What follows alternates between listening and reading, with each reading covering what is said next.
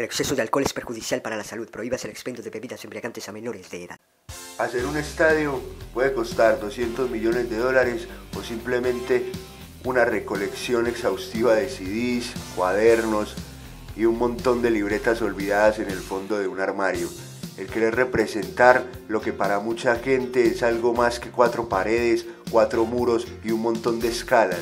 Un césped verde con dos porterías a cada lado y unas edificaciones vacías sin contenido.